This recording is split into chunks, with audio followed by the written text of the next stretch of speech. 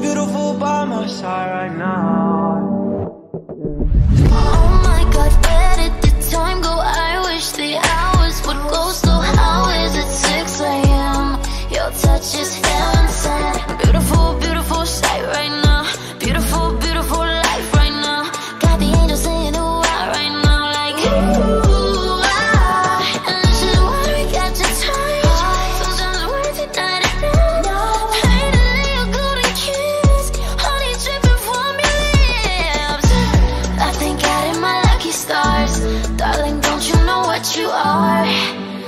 Yeah, baby.